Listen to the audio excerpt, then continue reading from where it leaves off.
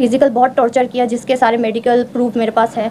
इन मैं हॉस्पिटल में भी एडमिट थी, इन्होंने मुझे गला दबा के मारने की कोशिश की, मेरे गले में जो दुपट्टा था, इसको मार मारने की कोशिश किया, फंदा डाल के। मेरे हस्बैंड और उसकी फैमिली मुझे धमकियाँ दे दे रहे हैं और मुझे हेरसमेंट किया जा रहा है। जिसके सारे प्रूफ मेरे पास है कॉल रिकॉर्ड है और इन्होंने मेरे एम्बेसी में भी बहुत बार ईमेल किया, झूठ बोल के, जो मैं टेररिस्ट हूँ। उसके बाद मेरे पर बहुत गंदे गंदे आरोप लगाए गए जिसकी वजह से मैं सारे डॉक्यूमेंट लेके यहाँ आई हूँ। मैं जब प्रेग्नेंट हो गई तो इन्होंने मेरा एबोर्शन करा के इनकी माँ और इन्होंने मिलकर मेरा झूठ बोल के एबोर्शन करवाया। उसके बाद ये लोग ने मुझे छोड़ दिया। मैंने उनसे कांटेक्ट करने की बहुत कोशिश की। इन्होंने मेरे साथ कांटेक्ट नहीं किया। उल्टा मुझ, मुझे मार के मेरा पासपोर्ट लेके चले गए। तब मैं यहाँ पर बीमार होकर बहुत बार हॉस्पिटल में एडमिशन हुई। तब भी इन्होंने मेरी कोई परवाह नहीं की। मैं काफ़ी परेशान हो गई थी। जब इन्होंने मुझे धमकी देना स्टार्ट किया, जो ये लोग मुझे इलीगल इमिग्रेंट बोल के फंसा देंगे, तब मैंने थाना में जाके कंप्लेन किया। इस खातून का नाम शाहाना सादिक है। ये बांग्लादेश के चटगांव ज़िले के ब्राह्मण बेड़िया की रहने वाली है। ये जब हिंदुस्तान आई थी तो इनकी आँखों में ढेरों रंगीन ख्वाब थे, लेकिन उनके वो सारे ख्वाब अब डरावने सपने बन गए हैं। मार्च 2023 में शाहाना की शादी कोलकाता के मोमिनपुर के रहने वाले मोहम्मद इश्तियाक अहमद से हुई थी। शाहाना के मुताबिक, उसके हाथों की मेहंदी का रंग फीका पड़ने से पहले ही उसके शौहर और ससुराल वालों के चेहरों पर चढ़ा नकाब उतर गया। नकाब के पीछे से जो चेहरे सामने आए, वो बेहद डरावने थे। अपना वतन माँ बाप रिश्तेदार, सहेलियों को छोड़कर अपना घर बसाने कोलकाता आई शहाना पर उसके शौहर और ससुराल वालों ने जुल्म के पहाड़ तोड़ डाले। उसके साथ मारपीट की गई। शाहाना का इल्ज़ाम है कि ज़बरदस्ती उसका एबॉर्शन तक करवाया गया। शाहाना का यह भी इल्ज़ाम है कि उससे दहेज की मांग की जा रही थी। लेकिन बांग्लादेश से पैसे लाना उसके लिए मुमकिन नहीं था। इसलिए जुल्म बढ़ता गया। उसके खिलाफ बांग्लादेश एम्बेसी तक में शिकायत कराई गई। उसे बदनाम करने और फंसाने के लिए उसे आतंकवादी कहा गया। इस दौरान उसके ससुराल वाले उसके शौहर की दूसरी शादी करवाने के लिए लड़की भी तलाश करने लगे थे। जुल्म जब हद से बढ़ गया तो उसने इकबालपुर थाने में रिपोर्ट दर्ज करवाई, जिसके बाद एक पंचायत हुई, जिसमें टीएमसी काउंसिलर शमसुजमान सारी और इकबाल शम्स भी शामिल हुए थे। उन्होंने उनके बीच सुलह करवा दी। सुलह सफ़ाई के बाद शहाना फिर से अपने शौहर के साथ रहने लगी थी, लेकिन कुछ दिनों के बाद उस पर फिर से जुल्म होने लगे। मारपीट की गई। इस दौरान मेयर फिरहाद हकीम के कहने पर वो वाटगंज थाने भी गई। पुलिस की मुदाखलत के बाद उसे शौहर और ससुराल के जुल्म से कुछ हद तक छुटकारा मिल गया और वो बांग्लादेश लौट गई। लेकिन ससुराल वालों के ज़रिए कराई गई झूठी शिकायतों के चलते उसका बांग्लादेश में भी रहना मुश्किल हो गया है।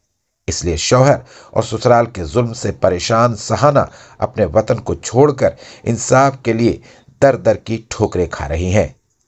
आइए सुनते हैं बांग्लादेश की रहने वाली शाहाना सादिक की बिपता उसी की जबानी मैं शाहाना सादिक हूँ, बांग्लादेश से बिलोंग करती हूँ। मेरे यहाँ के एम डी इश्तियाक अहमद के साथ शादी हुई है। वो मोमिनपुर पोस्ट ऑफ़िस के करीब रहते हैं। उनका पी एस इकबालपुर है। आज प्रेस कॉन्फ्रेंस करने का मकसद ये है कि मेरी, मेरे हस्बैंड और उसकी फैमिली मुझे धमकियाँ दे दे रहे हैं और मुझे हेरसमेंट किया जा रहा है। जिसके सारे प्रूफ मेरे पास है कॉल रिकॉर्ड है और इन्होंने मेरे एम्बेसी में भी बहुत बार ईमेल किया, झूठ बोल के, जो मैं टेररिस्ट हूँ।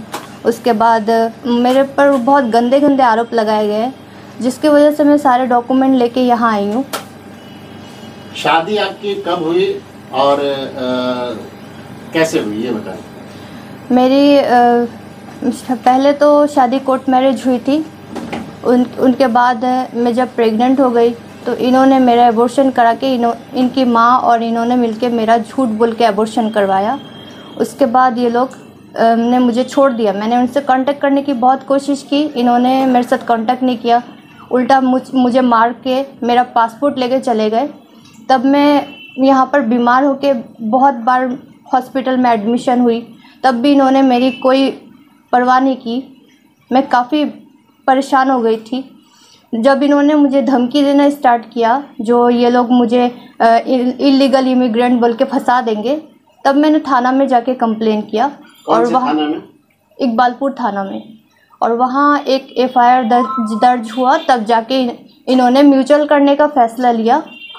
तो इन्होंने म्यूचुअल किया वहाँ शमसुज्जमान अंसारी थे, उसके बाद एक काउंसलर इकबाल इकबाल अनिल इकबाल शम्स थे, उन्होंने मिलके हमारा म्यूचुअल करवाया। उसके बाद हम एक साथ रहने लगे। एक साथ रहने के टाइम हमें इनकी माँ और इन्होंने मिलके बहुत ही टॉर्चर किया। जिसके सारे एविडेंस मेरे पास है।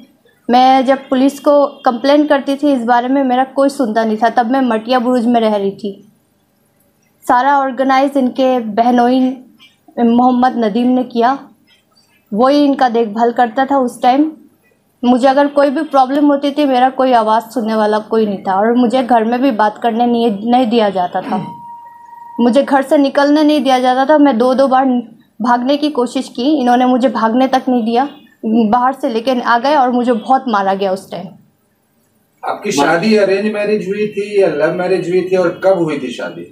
हम एक दूसरे को बहुत पहले से जानते थे पर मैरिज अरेंज ही हुई थी। कब हुई थी शादी?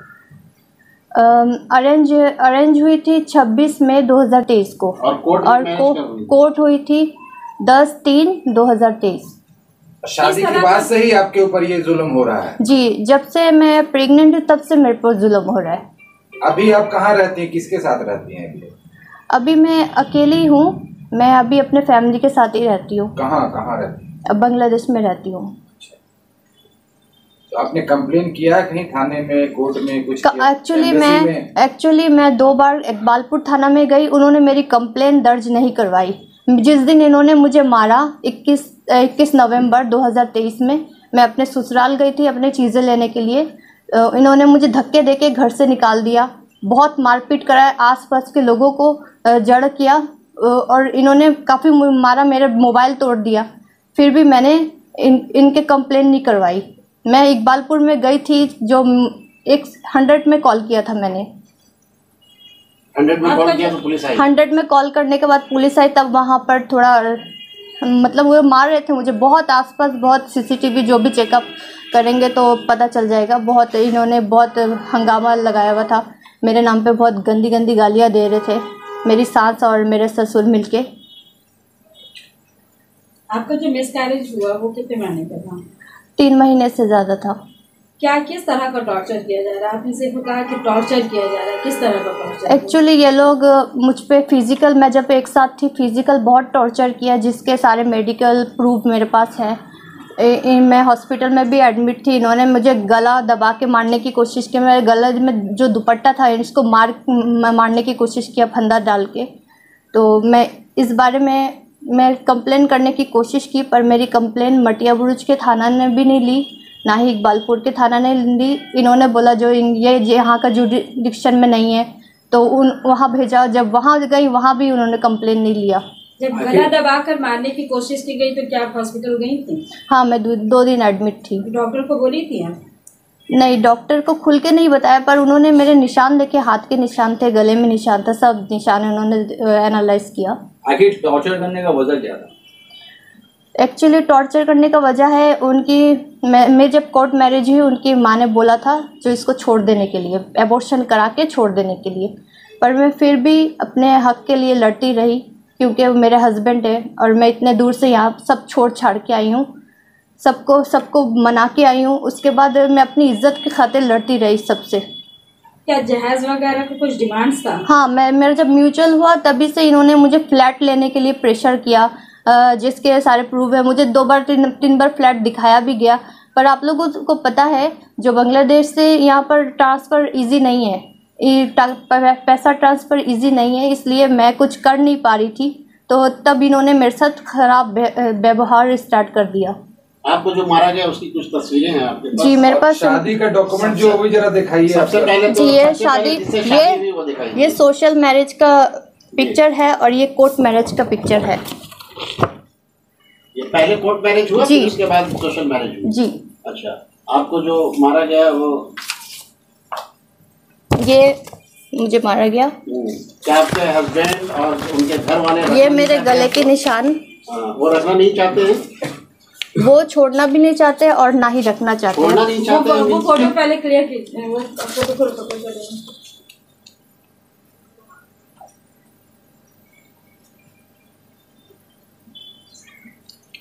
छोड़ना नहीं चाहते हैं, रखना नहीं चाहते मतलब क्या? ये ये दो बातें इसका मतलब है, आपको तो पता है हस्बैंड के तौर पे जब छोड़ा जाता है तो कुछ फॉर्मेलिटीज़ होते हैं।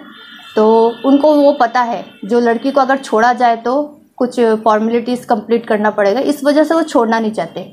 तो आप खुला क्यों नहीं ले रही हैं? जब इतना जुल्म हो रहा है आपके तो? मैं इसलिए खुला नहीं रह रही मेरी इज़्ज़त के खातिर मेरा यहाँ पर आपको पता है एबोर्शन हो चुका है मेरी शादी हो चुकी है मेरी फैमिली को पता है सारी फैमिली मेंबर को पता है। आप अपना कंप्लेन बांग्लादेश एम्बेसी में नहीं की मैं कर चुकी हूँ। तो उधर से क्या कहना उनका? वहाँ मैं खुद जाके कंप्लेन दे के आई हूँ। वहाँ तक अभी तक कोई प्रोसीड्यूर नहीं हुआ। एक हफ़्ता हुआ है मैं वहाँ पर कंप्लेन दे चुकी हूँ। और क्या नाम है आपके हस्बैंड का नाम क्या है? M D Ishtiaq Ahmed. और उनके फादर का नाम क्या है? मोहम्मद मुश्ताक अहमद। अच्छा ये क्या काम करते हैं? ये वहाँ के काउंसिलर लोकल काउंसिलर के पीए हैं। कौन सा काउंसलर नाम है मालूम आपको पता जी देबुलिना विश्वास है उनका नाम। Ward number? सेवेंटी फोर है। अच्छा। तो ये जो म्यूचुअल कराया था आपको किसने करवाया था म्यूचुअल म्यूचुअल करवाया करवाया गया था शमसुज्जमान अंसारी थे और काउंसिलर इकबाल शम्स थे। कब हुआ था? म्यूचुअल का मीटिंग कब हुआ? अठारह मई को 2023 देवोलीना विश्वास से आपने बात की? मैंने उनको ये सारे प्रॉब्लम जो है उनको मैंने व्हाट्सएप में शेयर किया है। कुछ दिन पहले भी आप मीडिया के सामने आई थी तो यही मुद्दा उठ, उठा था शायद? जी। हाँ उस वक्त भी कुछ मीटिंग वीटिंग हुई तो क्या हुआ था उसका? रिज़ल्ट कुछ? एक्चुअली उन्होंने जब मीडिया में आई थी तभी उन्होंने मुझे मीडिया में देख के काउंसिलर को बुला के म्यूचुअल करवाया। तो उसके बाद हमारे हम एक साथ रहने लगे थे। वो एक साथ रहने में इन्होंने बहुत मुझ पर टॉर्चर किया। केस उठाने की कोशिश की। कुछ केस थे थाना में। वो केस उठाने के लिए इन्होंने मुझसे हर जगह जितने जगह सिग्नेचर लेना था ले लेके इन्होंने मुझे वापस भेज दिया बांग्लादेश। पर वगैरह जो करवाई है उसका कुछ कॉपी है? जी है।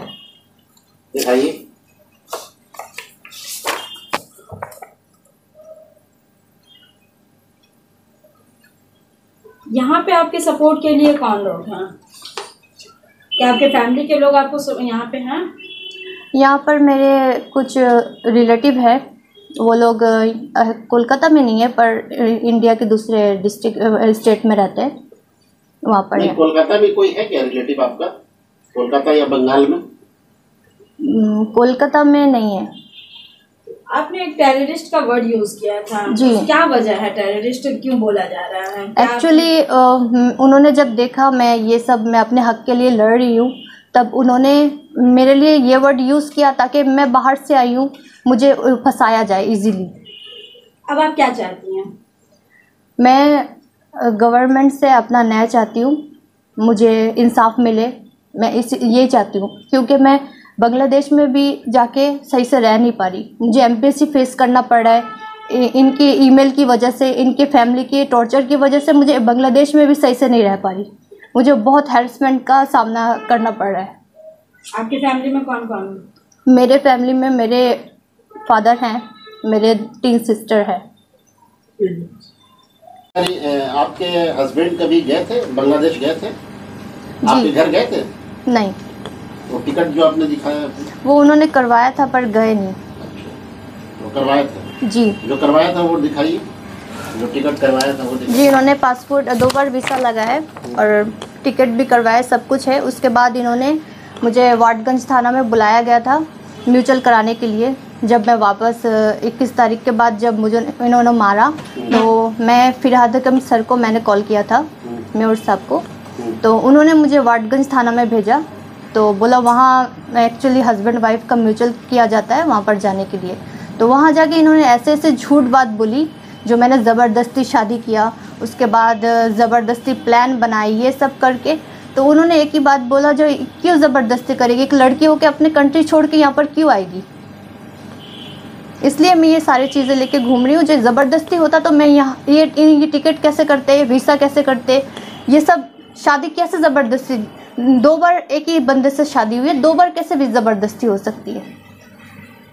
दो बार एक ही बंदे से शादी हुई है? मतलब कोर्ट मैरिज हुआ एक सोशल सोशल मैरिज हुआ।